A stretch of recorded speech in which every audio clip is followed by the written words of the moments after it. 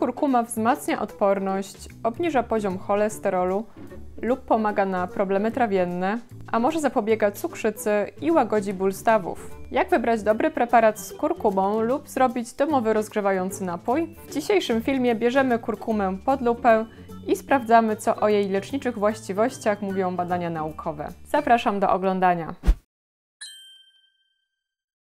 Cześć! Z tej strony Klaudia Ćwiąkała, jestem farmaceutką, a Wy oglądacie kanał Gdzie Polek.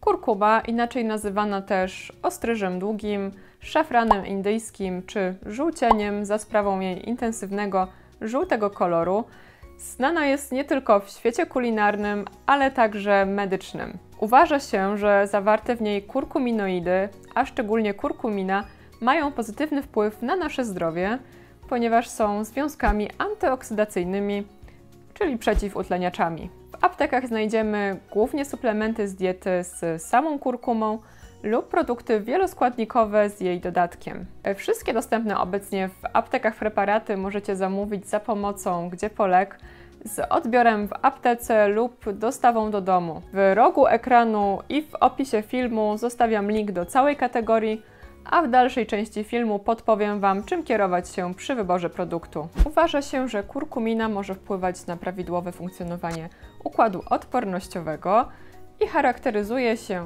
działaniem przeciwzapalnym i przeciwutleniającym.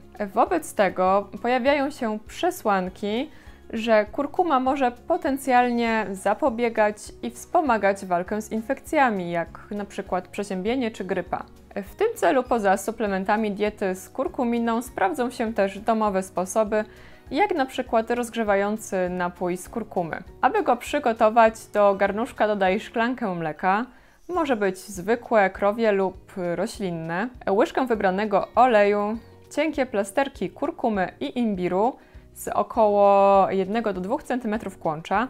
Jeśli nie macie świeżego kłącza, to można też dodać po łyżeczce sproszkowanej kurkumy lub imbiru. Do tego dodaj goździki, laskę cynamonu, świeżo zmielony pieprz i gotuj przez kilka minut, nie doprowadzając do wrzenia. Po tym czasie dodaj jeszcze sok z połowy cytryny i łyżeczkę miodu. Wszystko wymieszaj i napój jest gotowy. Możesz mleko z tłuszczem zastąpić, zalewając pozostałe składniki wrzącą wodą i pozostawiając tak przygotowany napar pod przykryciem na około 10 minut. Niestety kurkumina lepiej rozpuszcza się w tłuszczach niż w wodzie, Dlatego jeśli zależy Ci na jej większej dawce, wybierz tak zwane złote mleko. O takim przeziębieniowym niezbędniku znajdziecie na naszym kanale osobny film. Link zostawiam w rogu ekranu i w opisie filmu. W tym miejscu warto też wspomnieć, że w ostatnich latach pojawiały się doniesienia, o możliwym oddziaływaniu kurkuminy na przebieg COVID-19. Jednak na ten moment nie możemy wyciągnąć wniosków co do tego, aby kurkuma istotnie wpływała na przykład na skrócenie czasu choroby. O kurkumie często słyszy się również w kontekście wszelkich zaburzeń metabolicznych, jak na przykład cukrzyca, stan przedcukrzycowy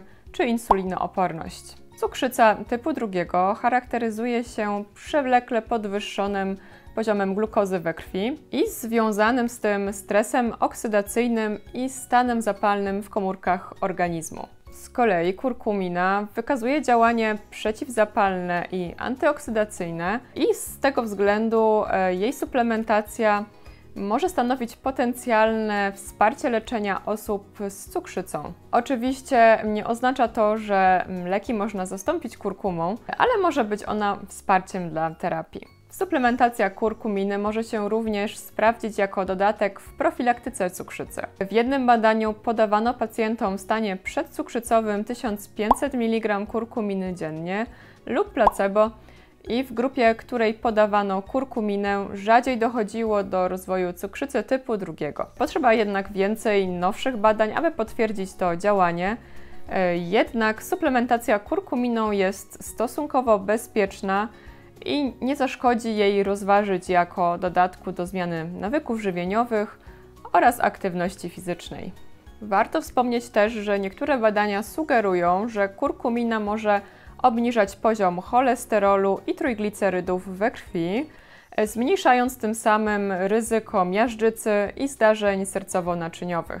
Suplementacja kurkuminą w połączeniu z odpowiednią dietą i aktywnością fizyczną może być także potencjalnym wsparciem w procesie odchudzania. W metaanalizie z 2020 roku wykazano, że kurkumina może mieć wpływ na utratę masy ciała i obniżenie BMI, a w randomizowanym badaniu z 2016 roku wykazano jej wpływ na wzrost poziomu adiponektyny, czyli hormonu odpowiedzialnego za mm, prawidłową przemianę glukozy, kwasów tłuszczowych oraz wrażliwość na insulinę. O innych środkach stosowanych w celu zmniejszenia masy ciała e, mówiliśmy w osobnym filmie na naszym kanale.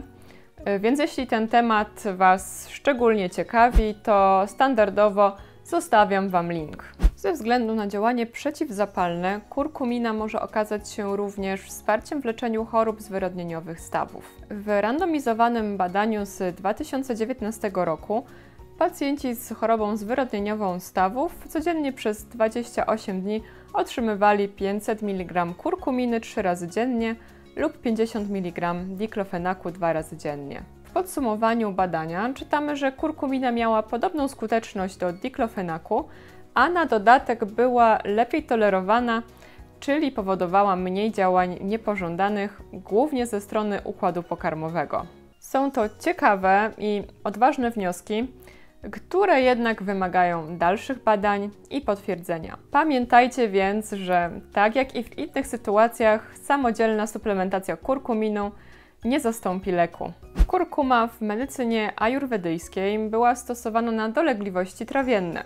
W badaniu z 2021 roku postanowiono sprawdzić wpływ kurkuminy na objawy żołądkowo-jelitowe, samopoczucie i ogólną jakość życia u dorosłych z dolegliwościami trawiennymi. Przez 8 tygodni części badanych podawano 500 mg ekstraktu kurkuminy dziennie, a pozostałym pacjentom placebo. Pacjenci przyjmujący kurkuminę rzadziej skarżyli się na niestrawność, a dodatkowo obniżył się poziom lęku. Są więc przesłanki, że rzeczywiście można by stosować kurkuminę na problemy z trawieniem. Poza wspomnianymi właściwościami, dostępne są również doniesienia mm, wskazujące na potencjalne zastosowanie kurkuminy e, w łagodzeniu bólu neuropatycznego, bolesnego miesiączkowania, profilaktyce i leczeniu nowotworów czy depresji. W większości właściwości te wymagają dalszych badań, które potwierdzą rzeczywistą skuteczność kurkuminy. Pewnie jesteście ciekawi, w jakich ilościach trzeba stosować kurkuminę, aby zapewniała zdrowotne korzyści. W większości przytaczanych badań pacjentom podawano od 500 aż do 1500 mg kurkuminy dziennie. I jak zapewne się domyślecie, jest to zdecydowanie więcej niż znajduje się w kurkumie stosowanej na co dzień jako przyprawa. Przy wyborze preparatu z kurkumą warto oczywiście zwrócić uwagę na zawartość kurkuminy oraz sprawdzić, czy znajduje się ona w towarzystwie piperyny lub występuje w postaci liposomów, ponieważ kurkumina ma niską biodostępność, czyli słabo się przyswaja, a towarzystwo wspomnianych związków może tę przyswajalność poprawić. A na koniec ważne pytanie: czy kurkumina jest dla każdego?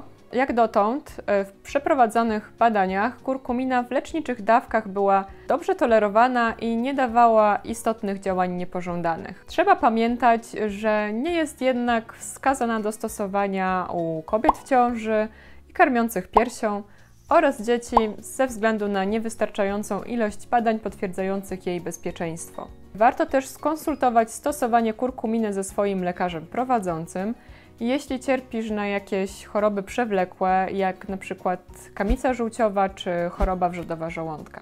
Podsumowując, kurkumina ma sporo prozdrowotnych właściwości i pojawia się coraz więcej potwierdzających to badań klinicznych. Warto włączyć kurkumę do swojej diety, a w niektórych przypadkach rozważyć również suplementację samej kurkuminy. Jeśli już ją stosujecie, to dajcie znać w komentarzach, czy zauważyliście jakieś pozytywne, zdrowotne efekty. Nie zapomnijcie też o subskrypcji kanału i zostawcie łapkę w górę, jeśli ten film był dla Was ciekawy. Trzymajcie się zdrowo.